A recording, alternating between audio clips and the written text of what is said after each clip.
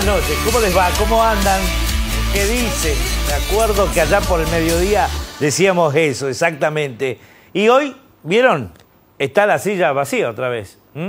Me ha abandonado. No, no es así. Mire, le explico porque varios me han preguntado qué pasa con Giovanna.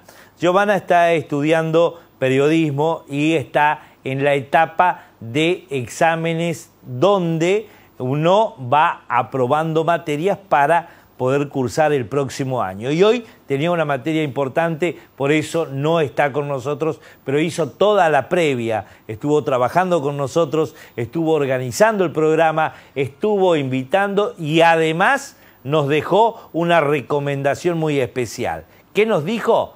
La próxima semana estoy con vos. Bueno, ahí le dejamos el asientito ¿eh? como para que ella esté con nosotros. Bueno, ¿qué tenemos para el día de hoy? Le cuento.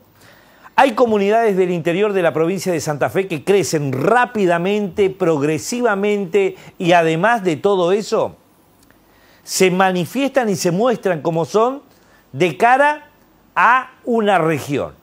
Vamos a hablar hoy con el presidente comunal de Nicanor Molinas, una de las localidades elegida entre todas de la provincia de Santa Fe para desarrollar un programa. Se llama Pueblo Mío, el programa. Él está acá, va a hablar con nosotros. También está el ingeniero Brian Moschen. Y él es el eh, subsecretario de Ciencia y Tecnología de la Facultad Regional, la UTN, Facultad Regional Reconquista.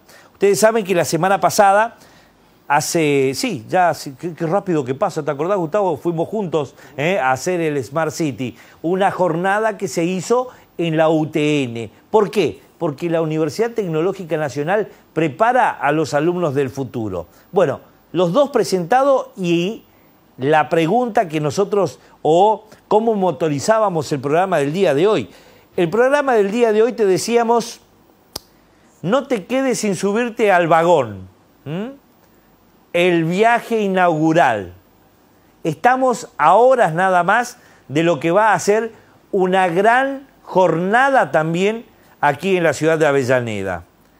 Se viene TEDx. ¿Qué es TEDx? Ya lo contamos y fuimos los primeros en anunciarlo. 8 de noviembre se realiza aquí en la ciudad de Avellaneda. Va a estar Luciana Gregoré, la licenciada Luciana Gregoré, organizadora del TEDx contándonos sobre quiénes son los disertantes y además, ¿eh? ustedes saben que esta primera organización tiene un límite de capacidad o de cantidad de personas que pueden participar, porque es el viaje inaugural. Por eso lo, definimos así. No te quedes bajo el vagón o fuera del vagón del viaje inaugural de Estación Edward. ¿eh?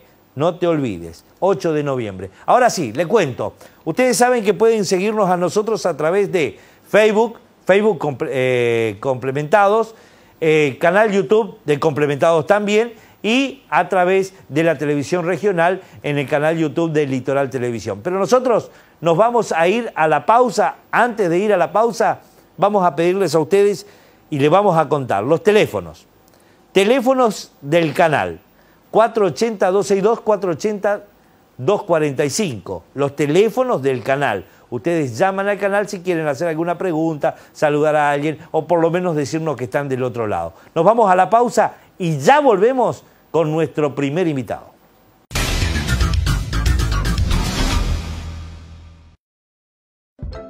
¿Sabías que ahora contás con un moderno centro de atención a la ciudadanía en el que podés acercarnos tus reclamos, solicitudes y gestiones referidos a distintos tipos de servicios? Nos seguimos modernizando y queremos que vos también lo hagas. Ahora podés iniciar tus trámites acercándote a las nuevas oficinas en Avenida Federico Sigel 847 o desde cualquier computadora o celular ingresando a cac.malabrigo.gov.ar. Te registrás y realizás tu solicitud. Podés adjuntar una imagen del lugar o reclamo. Este nuevo sistema implementado por el municipio te generará un número de trámite con el cual podrás seguir el avance de cada solicitud. Centro de Atención a la Ciudadanía. El municipio más cerca tuyo.